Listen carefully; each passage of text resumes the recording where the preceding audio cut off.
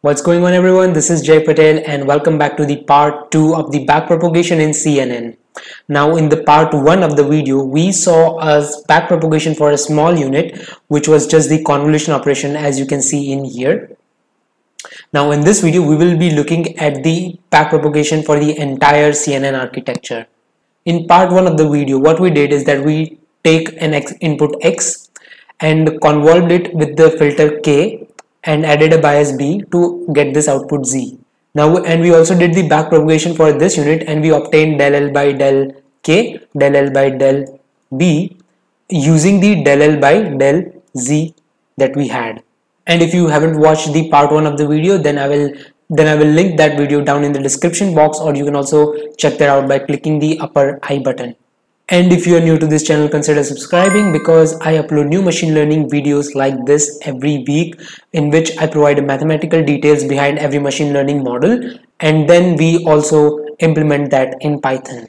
And there are very few resources online which teaches you backpropagation for CNN. Most of the courses and the resources out there just implemented using TensorFlow and it does not teaches the mathematics behind the backpropagation in CNN. But I have made a video on it and and that's what I do in this channel. I provide mathematical details behind models and we study them carefully and we understand it properly.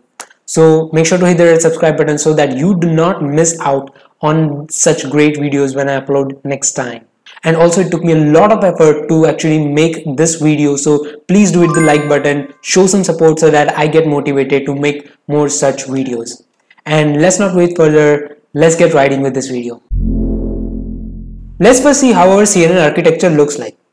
This is the first layer of our CNN in this we take this input image and convolve it with the filter K. Now here I'm assuming that we are only using one filter. But in a normal CNN or in or in any other network, we actually use many such filters. But for the simple explanation of the backpropagation, here I'm just taking one filter and the exact same process is done for the other filters. After convolving this input image with the filter K1, we add a bias B to obtain Z1, which is this node. Then on this Z1, we perform ReLU operation to obtain C1, which is this equation. Then we perform the average pooling operation to get the P1 then in the second layer, we take this P1 as an input image, convolve it with the filter K2, add a bias B to obtain this Z2 and then perform the ReLU operation, then max pooling operation to obtain this P2. Then in the third layer, what we do is that we flatten this P2 image. Now this P2 might be a multi-dimensional vector. We flatten it to a single dimensional vector which is represented by F. Then this F is given as the input to the third layer which is the fully connected layer.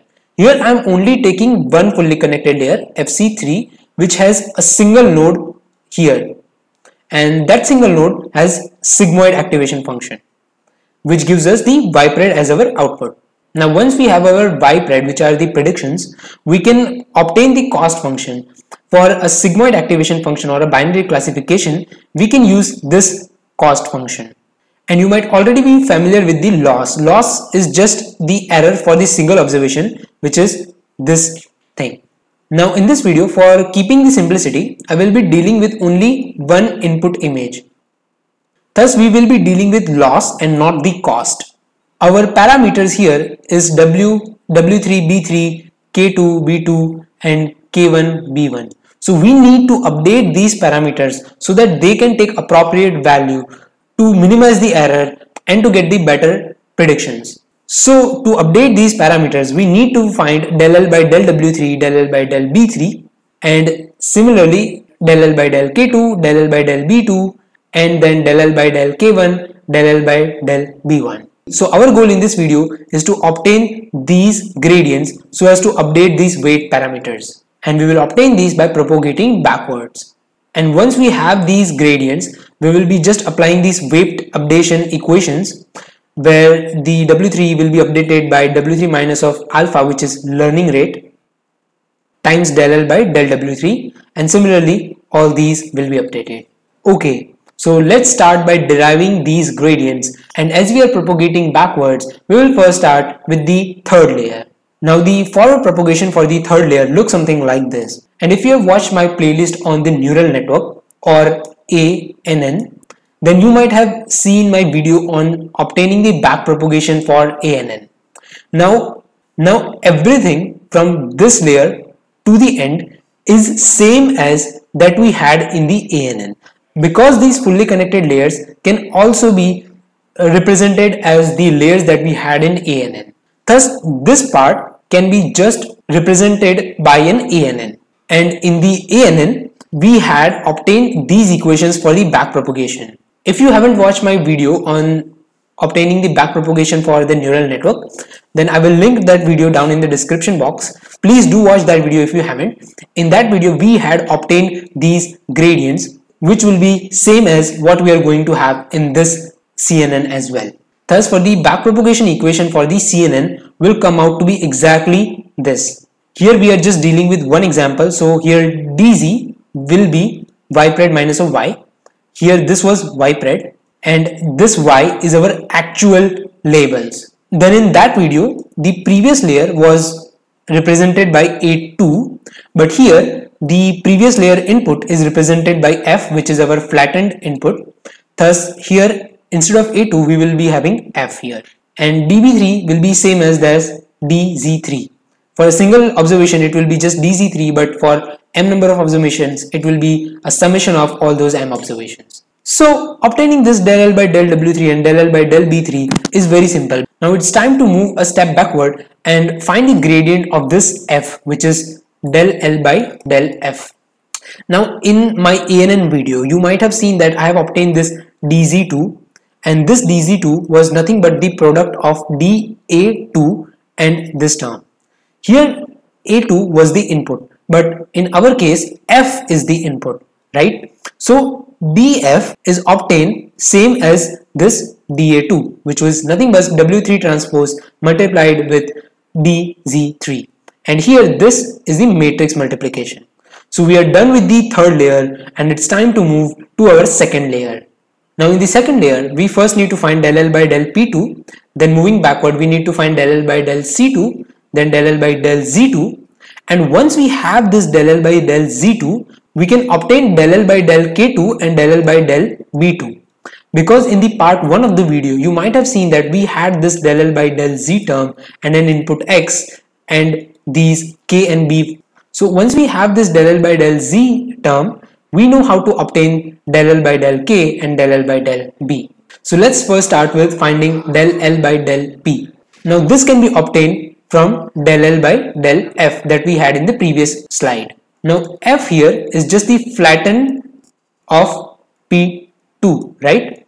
So all the values in the P2 and the F will be the exact same. The only difference will be of the dimension. So del L by del P2 can be obtained by just reshaping this del L by del F into the shape of P2. So the equation for dP2 which is del L by del P2 can be given by this where we just need to reshape dF into the shape of P2. Once we obtain del L by del P2 we can obtain del L by del C2. But hey hey wait here there is one challenge here. Here we are performing the max pooling operation. So how does the backpropagation work for max pooling? Let's try to find that out. To understand that, let's take a hypothetical example where we have this C2 given by this 1, 2, 3, 4. Thus the P2 which is just the max pooling operation of this C2 will be just 4 because the max value of this 1, 2, 3, 4 is 4. And let's say while moving backward, hypothetically we might come up with del L by del P2 as 2. So what will be this del L by del C2? To answer this question, let us examine this thing carefully. If we keep this as the maximum value, any change in these three values will not affect P2 and thus will not affect our final Y pred and thus it will not affect the loss. If these terms change, it is not affecting our loss which means that our del L by del C for these three terms will be 0. Thus our del L by del C2 will actually come out to be this way. How? Because it is because any change here will be reflected as it is in this P thus any change in this will be reflected as it is in this. It is like having y equal to x where del y by del x is 1 which means that if this 2 number changes by let's say x times, this 2 number will also change by x times. Thus the final equation for del L by del C mn for any value mn will actually be written by this. Here in hypothetical example, I had only taken C2 of 2 cross 2 matrix.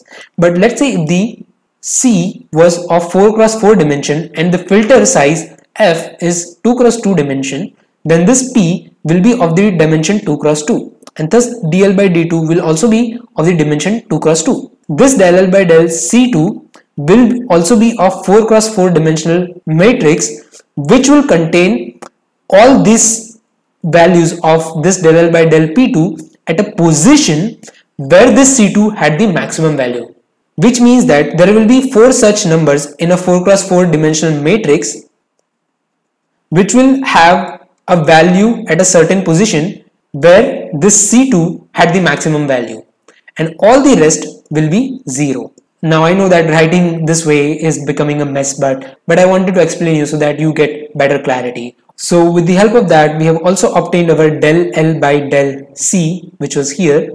Now it's time to move a step backward and obtain del L by del Z.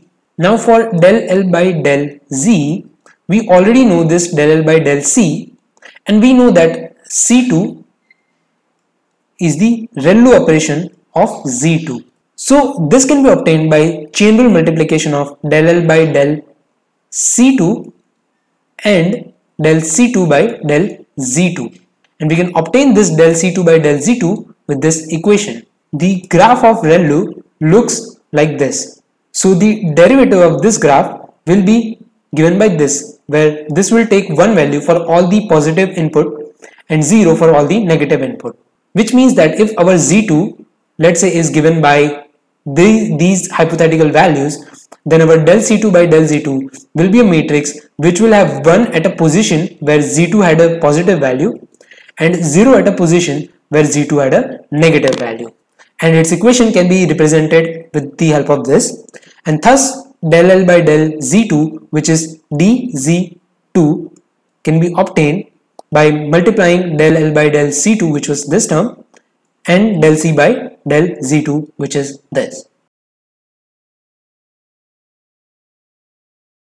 Oof, so we have finally obtained del L by del Z2.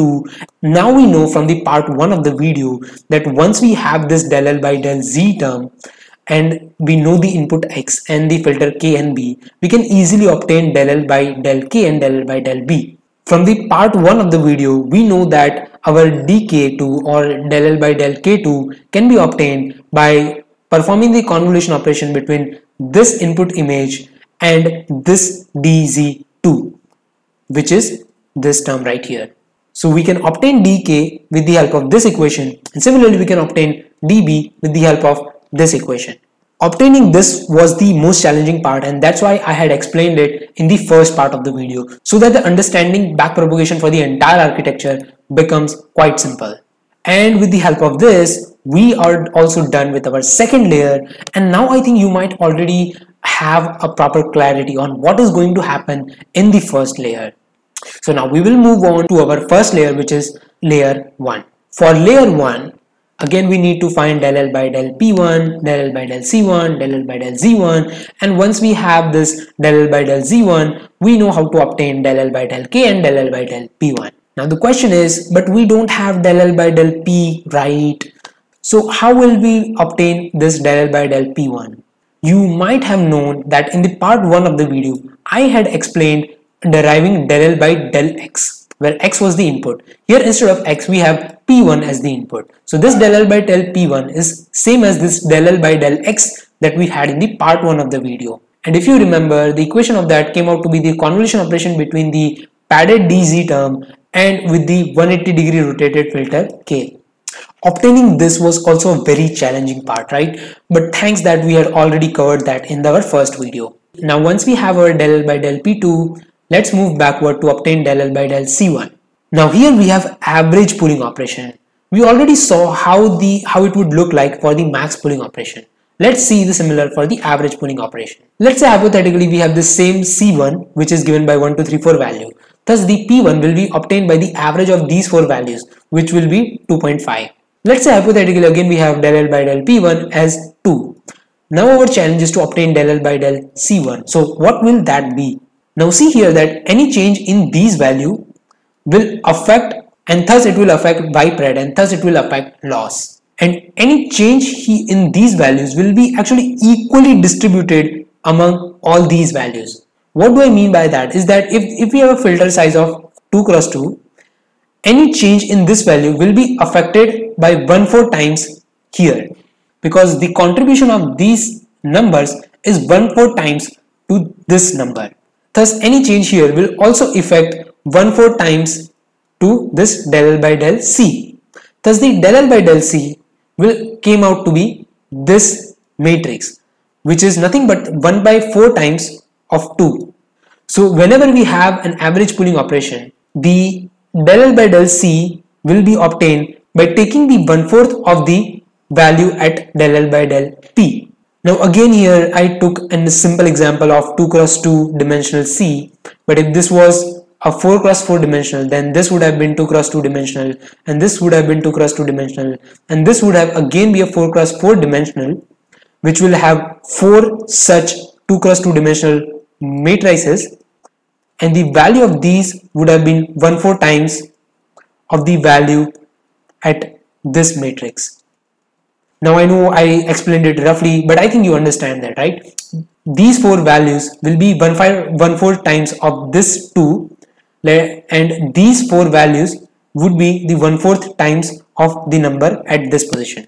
And similarly for this and this and this and this. Thus we have obtained del L by del Z2 whatever I explained here can in short be written in the with the help of this equation now we have our del L by del C. Let's move one more step backward and obtain del L by del Z. Now you know the deal that del L by del Z can be del L by del Z1 can be obtained by chain rule multiplication of del L by del C1 with del C1 by del Z1 and previously we had already obtained del C by del Z which was this. Thus it is thus this term will be multiplied with del L by del C which we already obtained here to obtain del L by del Z which will be written with the help of this equation. And again you know the deal that once we have this del L by del Z, we can obtain del L by del K with the help of the convolution operation between the input image, this INP with the DZ1 and this DB can be obtained by summing the DZ matrix.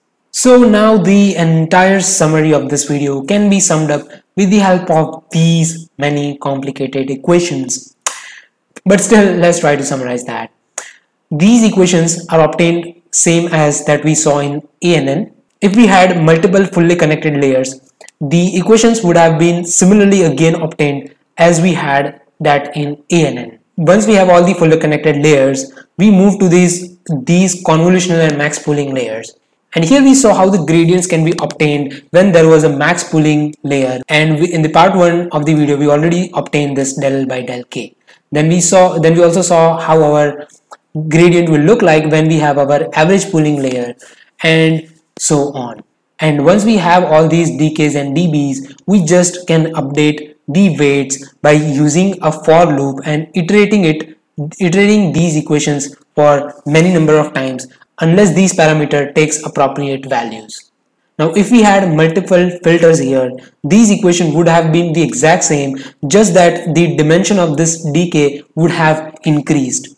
Okay, so after a lot of complex mathematics, we finally saw how the backpropagation for convolutional neural network looks like. I hope you found this video helpful. If so, please do hit the like button. If you have any suggestions, then let me know that down in the comments below. Show your support in the comment section and also by liking this video. And in the next video, we will start with our TensorFlow series. So I hope to see you there. Thank you so much and I will see you in the next video.